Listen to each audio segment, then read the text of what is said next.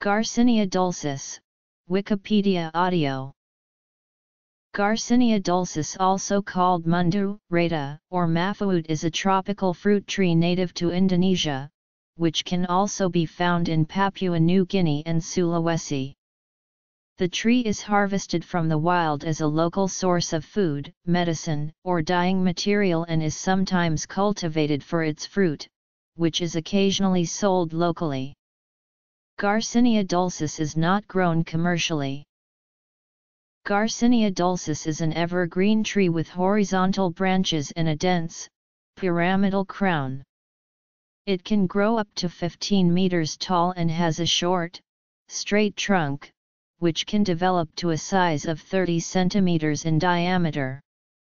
The tree grows best in areas where annual daytime temperatures are within the range of 20 to 30 degrees C and is well adapted to shade and humid conditions. Flowering usually occurs twice a year after long periods of drought. The orange-colored fruits can be eaten fresh, they contain a sour, juicy pulp, which can be preserved into jam. Green dye can be obtained from the bark, when mixed with indigo it gives a brown color which is used to dye mats.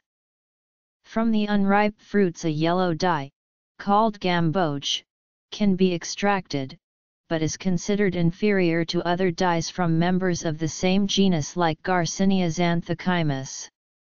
Garcinia dulcis also has medicinal purposes, it can be used for the treatment of wounds or scurvy. Description Plants Profile for Garcinia dulcis USDA Plants Database Retrieved November 12, 2007 Garcinia dulcis specimens. Tropicos.org. Missouri Botanical Garden. Retrieved February 6, 2015. Garcinia dulcis. Useful Tropical Plants Database. Retrieved May 14, 2016. Uses